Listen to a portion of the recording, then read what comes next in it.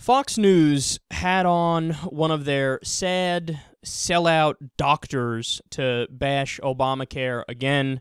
And years after the implementation, they're going to continue to bring up the death panels. Who's to say who's with it and who isn't? Well, Rahm, uh, uh, Ezekiel Emanuel says we should die at 75. But if you take the standard of age 85, let's go ahead and take a, imagine if you're 85 years old, you look at the stats, and one in three uh, Americans have Alzheimer's, which of course means two out of three don't. Right, exactly. Two out of three don't. Now, look, first of all, we're doing a lot of research on Alzheimer's right now. Should we write off everyone that has it, or should we do more research and get it early and figure out treatments? We're, we're on to genetic treatments right now.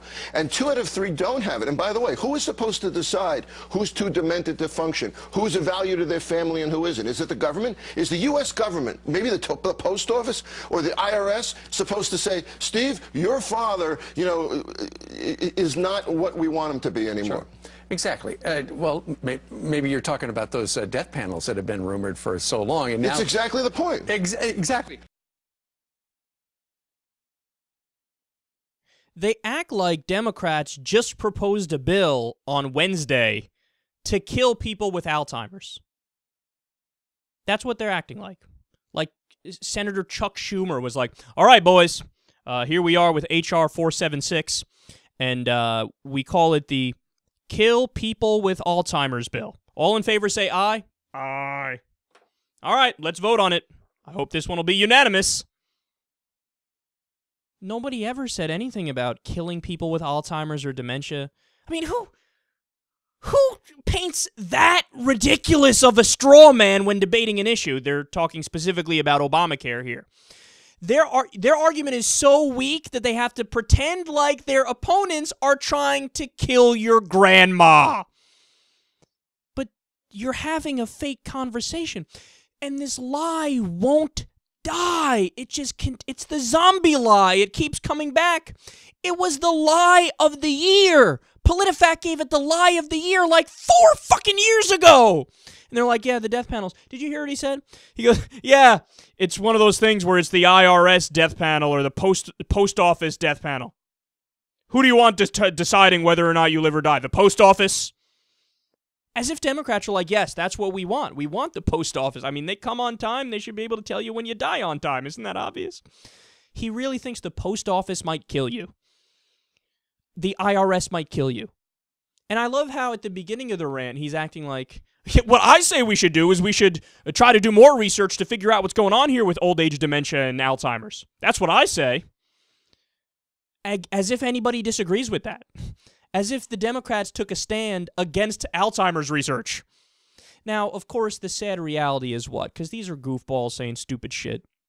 But the sad reality is we actually have real death panels, the insurance companies. And these guys support the real death panels hook, line, and sinker.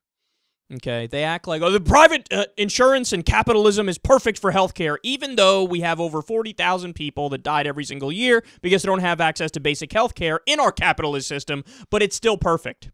I mean, when the private insurance companies were left to make their own decisions and they were more unregulated pre Obamacare, they had lifetime caps. They would just kick people off if they hit their lifetime cap, even if they had cancer and they were going to go bankrupt. If the insurance didn't keep covering them, didn't care got rid of them okay? Pre-existing conditions huge issue huge issue. They just they simply say oh you need health care really badly? Well it's a shame that you're already sick because we're not going to cover you because you're too big of a risk. You're a risk you know like you're some sort of a a a good some sort of a product like you're a stock. Oh you're a risk. We're not going to invest in you. Invest we're talking about life and death. We're talking about health insurance and health care. That was the system. The health insurance companies are the real death panels.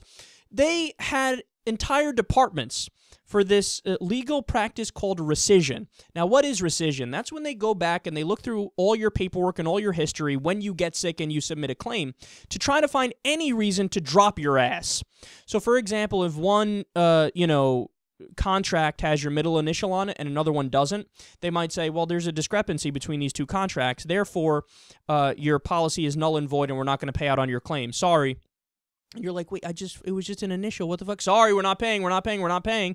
This is what rescission is. You nullify a contract ret- retroactively.